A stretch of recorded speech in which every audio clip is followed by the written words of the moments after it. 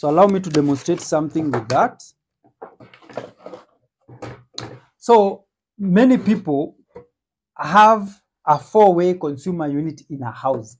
Why would an electrician advise a customer to use a four-way consumer unit, whether it is a bed sitter, whether it is a one bedroom, other people use it even up to three bedroom house. What is wrong with you?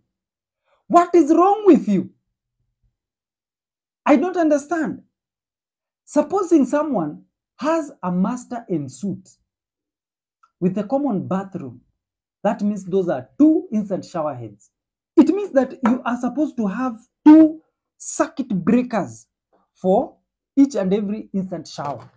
Let me prove it. Let me prove it. You see, for this instant shower head, what we have here is a 30 ampere and a 4 mm square cable. So if you have two of these in any home, it means that it has to be supplied with a 32 ampere MCB.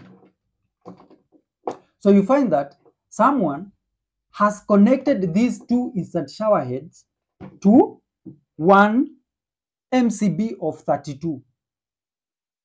Another one will decide to use a 40 ampere MCB to serve the two instant shower heads. Now, what happens in that scenario is that if at all there is a problem in any of the instant shower heads that will not be able to trip the 40 ampere MCB, that is an issue.